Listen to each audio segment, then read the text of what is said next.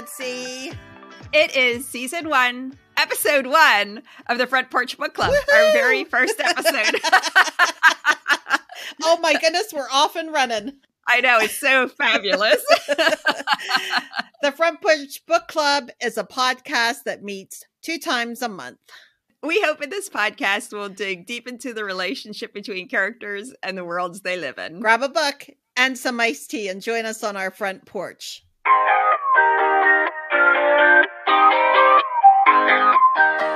So, Liddy, what is the first book we are going to discuss on the podcast? Well, our first book is actually written by Sarah Crawford, our niece. Um, and today we're going to be discussing her book called Lessons from Better People she just graduated from Syracuse University, and her book was her undergraduate thesis based on her experiences in Europe between her junior and senior year of college. Sarah had a much more exciting summer between her junior and senior year in college than I think either of us did. well, we certainly weren't either one of us writing a book. So she's pretty incredible, and we are two proud aunts. Yeah. That's very true. the book is basically into two parts. The first is her leaving college and her boyfriend, who you will not like, and going to spread her wings. it must be said, who she also does not like and breaks up with. Absolutely. And the real name is probably not used. Right. And she leaves her college and she enters an experience abroad and so the first part is this internship. And then she also goes to Lockerbie. And that's the second part of it, where she experiences firsthand the lives and the experiences of the people of Lockerbie when Pan Am flight was bombed about 30 years ago. The bomb killed everyone on board and some people on the ground and 35 of those people were Syracuse students. So Syracuse has this big remembrance week on campus. Sarah really did a lot of research about the person that she was remembering. And so she talks a lot about his work and really lives with a family there for several days. And so the second part has to do with those experiences. But Nancy, neither one of us were writing books.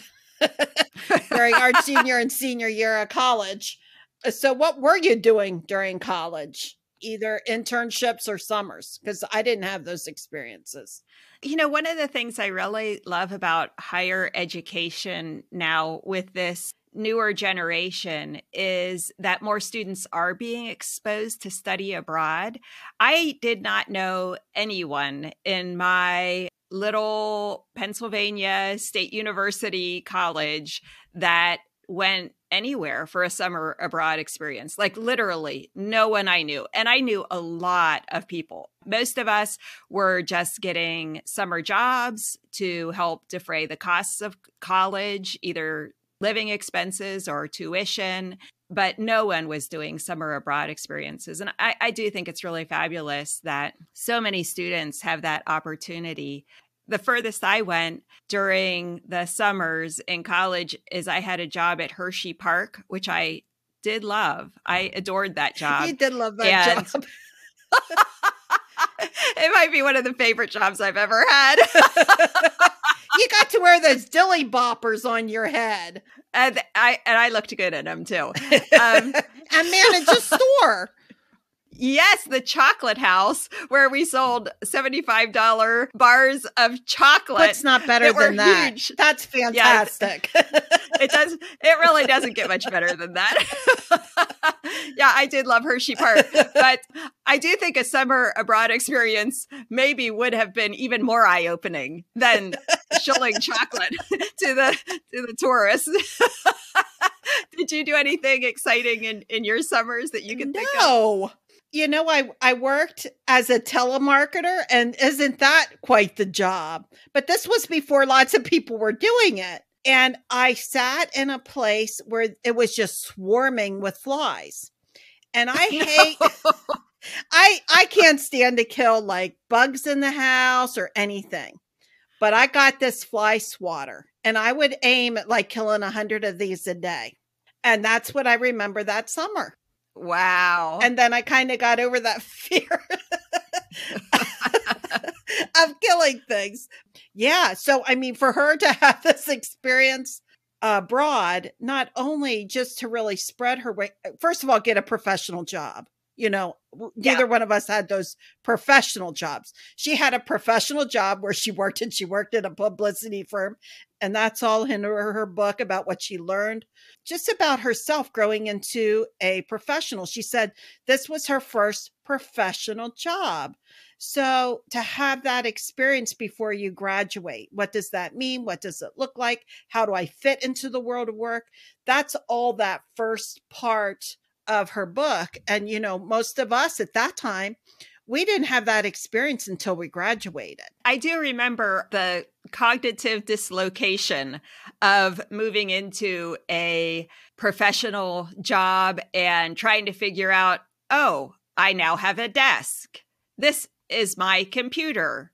Do I sit here for eight hours? Can I get up and talk to people? How do I make small talk? I mean, it's just such a different, it, for me, it was such a different experience. Now, I did, I did have an internship during the last semester of my senior year that was a, a full time job internship. And in fact, during my sophomore year, I did an internship too. So I did have some of those experiences, but it is such a different life being in an office working with people who seem so old. They they might as well be your parents. You have nothing in common with them. Are they going to come tell you to put on a jacket because it's chilly and the air conditioning? I mean, it's just I think it, it can be really hard. And I think she really described the angst of young adulthood. So there's the whole fitting it in, into an office situation, there's trying to figure out who you are,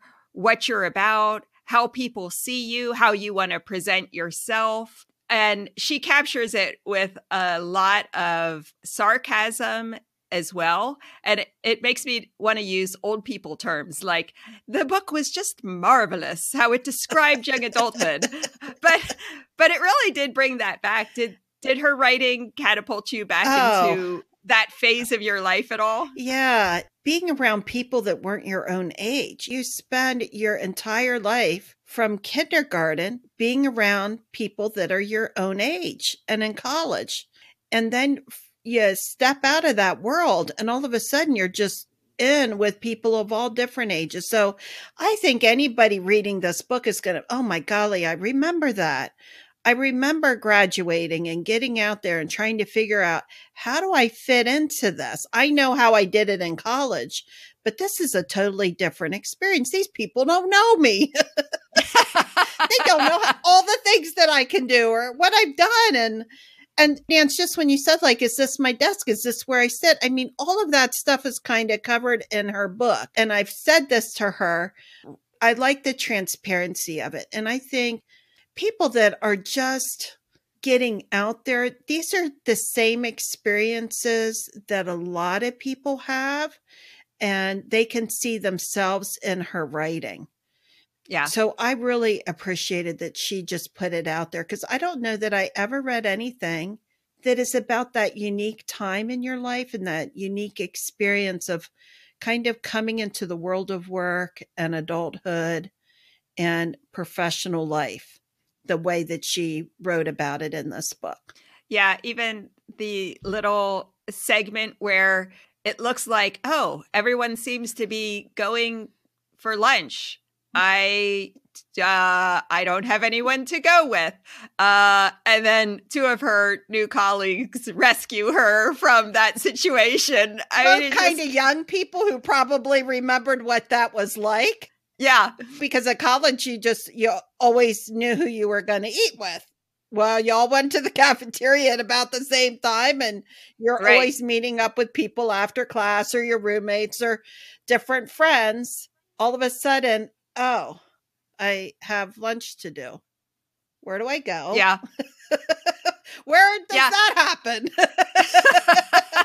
oh, what do i do plus she's in a foreign country so that's a lot more to figure out But those young yeah. people, there were two young young guys. Well, first of all, Sarah's very pretty, so I'm sure they that was not a hardship for them to say, Sarah, let's go to lunch together outside down the street a little bit so that and they made that a weekly affair for Sarah so that she would have at least somebody to eat with once a week. but all of that just those experiences just help you grow so much just finding out from her how that experience in her writing how that experience impacted her life i thought was interesting i loved how she you talked about how she is very transparent in her writing mm-hmm. i loved how in different points she would say things like well this is the way I've always done things, but it doesn't seem to be working here. Or yes, she does. or why do I always do this? It doesn't work here any better than it has anywhere else in my life. I mean, there's just a lot of kind of self-reflection and and she just takes us along on the journey where you know you read this and and there is you, I just really appreciated the fact that she put just herself out there like that so that other people could say, Yep, I felt like that too. Yep, I know what she's experiencing. And it is humorous in some ways. It's painful in other ways yeah. because it's it's when you're growing like that, there's there's some growing pains to that. And it Definitely. is uncomfortable and it is hard. And and she just is just really transparent about that. I really appreciate that. Yeah, now, Nance, you have done way more traveling than I have uh, abroad. Like I have gone yeah. on cruises and I'll visit the islands, but I haven't gone to Europe. yeah. You've gone over there. The little bit of traveling that I do have done, I do believe changes us. But what how do you think travel has changed you? Oh, that's such a great question. Here's the thing, Lynn. I think we were really lucky to grow up with a mother who really valued travel. So, no matter where we lived, she was interested in exposing us to the community we lived in. But far, far beyond that, she always planned wonderful summer vacations for us. She did. And yeah, yeah and we traveled all over the United States. Uh, on doing, a dime.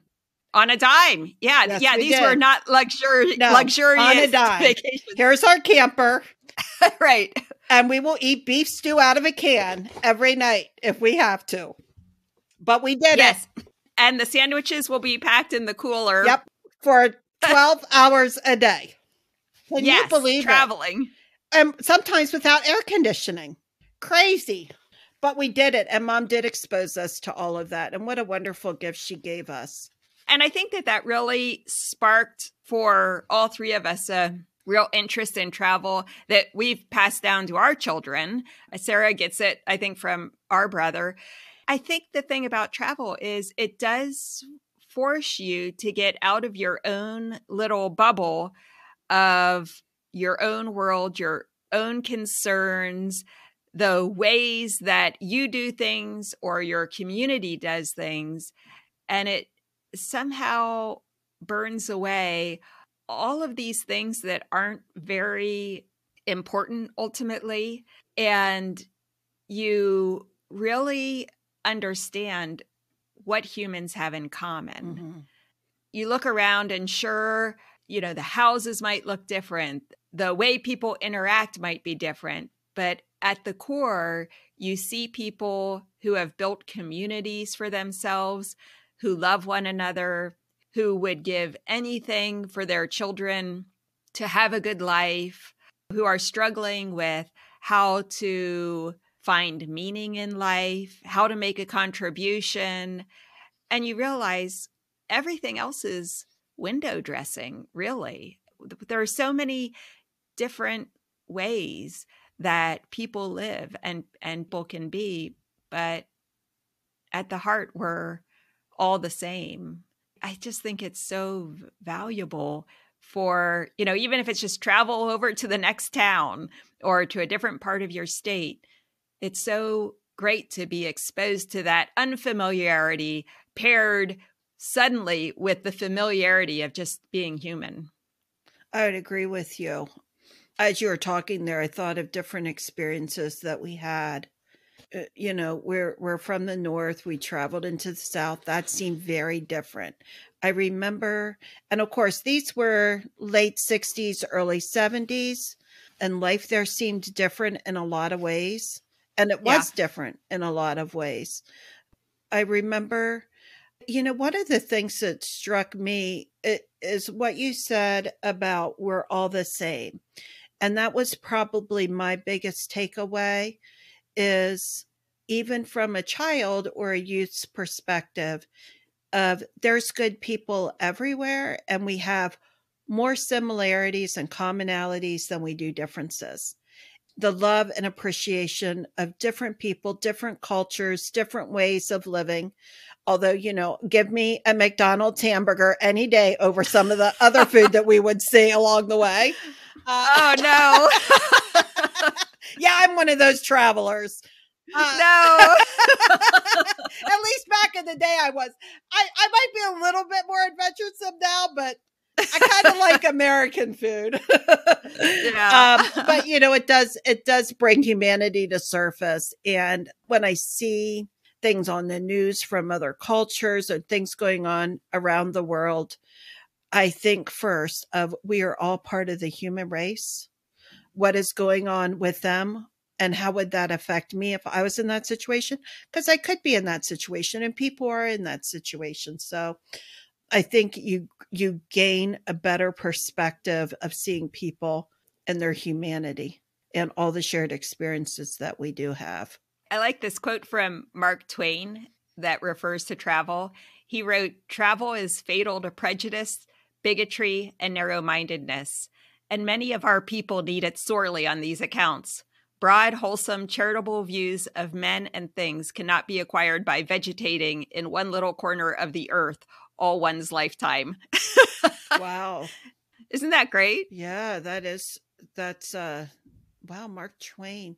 He did some traveling, I think. Yes, he traveled to Europe, in fact. Yeah. Uh, Connecticut uh, Yankee in King Arthur's Court is one of the famous things he wrote. Yeah. How interesting. I've never heard that quote before, but that does say a lot about getting out of your space and having a different experience. And it does it does combat prejudice and bigotry or just sort of this Americanism, like we're better than other people, kind of. Yeah. I have to say that I have traveled, and you probably have too, with Americans, and the things that come out of their mouth aren't so very pretty. Oh. And I remember yeah. being in Mexico, a part of a tour group, and and being mortified at what someone was saying to someone else's culture and their people and their experience. So travel can change you, but it can it can bring a mirror to the ugliness that some people have. But it does it does show you the travel in and of itself doesn't change you, but hopefully it does. Hopefully it brings out something more positive. Well, I think it is a good point that travel is not a magic elixir because some people travel and they just carry their prejudice and bigotry and preconceived notions with them and are blind to what is happening around yeah. them. I think probably that travel needs to be combined with a humility, maybe, openness, and a willingness to open up, open to someone else's culture and experience. Well, and that's what I liked about the second half of Sarah's book, because in the second half, she travels to Lockerbie, Scotland, and she is very open to learning about the experiences of the people who survived that plane crashing into their village and killing some of the villagers, experiencing what it meant to that community and how they have taken that experience and turned it into something beautiful. It was that part of the book. So, the first part of the book, I was laughing, laughing, laughing, uh, remembering my young adult self and enjoying her experience of trying to figure out the world. The second half, I'm crying, crying, crying in her depiction of this terrorist event and the humanity of the people in Lockerbie, their willingness to open their arms to her, but also all of the ways that they open their arms to turn this tragedy into something meaningful. Yeah, this is this is the toughest part of the book. I would say for her, you know, continual growth. She gets to live with a family while there, and so that helps to mold her and change her and and have a insider's look not just oh let's go to this placard let's go to this site let's go to this church but an insider's look on the experience of what had happened. One of the standouts for me was the washerwomen who oh my goodness nance i didn't really want to cry on this but uh well it's very moving uh, lenny just that this lady you know like what can you do this plane is decimated. Yeah. What can you do? Everyone died. Um, and she thought, I'll wash the clothes in the suitcases so when these loved ones get back the the suitcase that the clothes are clean yeah. and they look nice. And her experience yeah. is doing that. I, it's such a beautiful gesture, yeah. right? I mean, that's one thing. Well a couple people helped her i guess. But but that's one thing that she could do you know? And what a lovely gift that was. Yeah. And one of the suitcases that she washed was one of the syracuse students. Oh but you know she had such a wonderful experience there and the we'll have to ask her more about that when she joins us because it was very moving and and they really did a lovely job of embracing her into their community. Yeah.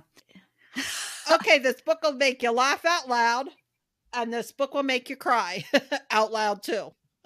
Obviously, Sarah is a, a very gifted writer and she's really been writing for some time. I know she wrote some newspaper articles for your local newspaper yeah. when she was just in high school. I know she won some awards for some of her fiction writing she did at Syracuse. And now this, which I guess is probably the longest piece that she's written, but she's really honed some beautiful skills. Uh, one of the things I really enjoy is the way that she captures people so that as a reader, you feel like you know them in a finger snap. You you're like, oh, okay, I know who yep, that I, is. I, that guy figured out. yeah. so an example of this is uh, speaking of I've got that guy figured out.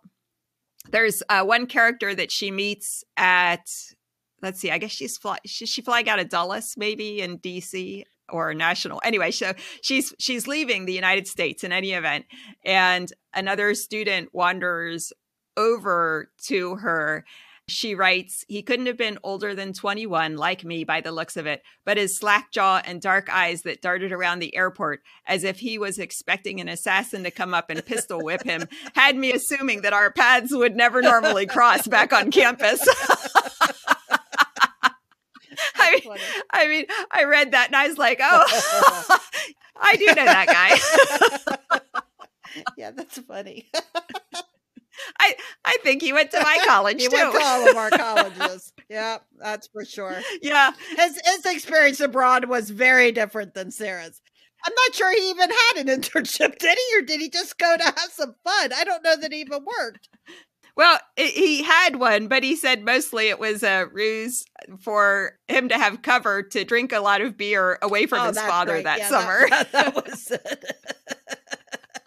Sarah, on the other hand, talks about how she had tried to scrape money together and how this was so important to her and all the obstacles that she really worked hard to overcome to have this opportunity. And then she runs into this guy. yeah, she did a lot to get the money. She actually had to get a scholarship to to do that study abroad. So she got a lot out yeah, of her experience. Right. The other thing I really enjoyed about her writing is she knows how to keep the reader turning the pages. She has great ends to her chapter that make you want to just then immediately dive into the next chapter. You know, really, really good forwards at the ends ends of chapters. So one of them I thought, uh, just as an example, so the last paragraph of one chapter. All right, so maybe it wouldn't be the best summer of my life, but I'd settle for an unforgettable one. And I just thought, wow, that turn of phrase, you know, summarizing everything up to that point, and then that turn of phrase is just like, oh, what? Okay, well, so what? What's that going to be about? You know, so just really great oh writing, oh I think. Goodness. So talented, our niece. Ah, you know yeah. what? We're going to get her on this podcast. And the next thing that she writes to, she can come back. We're going to follow her. Anything she writes. Oh, absolutely. Anything. Yeah. Well, so that will be our next episode. Sarah is going to join us and we will have some questions for her about the book that she wrote. I know. I'm looking forward to it. So, in the future, for people who are listening, this is pretty much going to be how our podcast will go. One episode will review the book that we've read. And then the second episode, we'll invite someone on to discuss the book with us. When we can, we'll get the author. Otherwise, we'll get people who maybe have some specific perspective or viewpoint on some aspect of the book. If listeners have questions they would like us to ask our guests, you can go to our website at frontporchbookclub.com, all one word, frontporchbookclub.com, and you can send us an email with any comments or suggestions or questions for guests that you have. At the website, every episode will also have links to anything that we talk about. So, for instance, Sarah's thesis is located at a Syracuse website that is very long. I will now attempt to read, but there will also be a link on our website that will take you directly to it. So, Lessons from Better People is available at https slash slash honors.syr.edu slash showcase slash thesis slash Sarah hyphen Crawford. And Sarah is S A R A H hyphen C R A W F O R D. So that's the URL. But again, if you go to our website at frontporchbookclub.com and to this episode, you will get a link to go directly to her book. And it's available for free at the Syracuse University website. Okay, well, that was our first episode. I'm looking yep. forward to many more books, many more authors, more laughter, and we probably shed a few tears too. probably. so stop by the Front Porch Book Club next time, in which Sarah will join us to discuss her book. We'll see you then, Nance. This was really fun, Lenny. I know. All right, see you then. Okay, take care. Bye bye. Bye bye.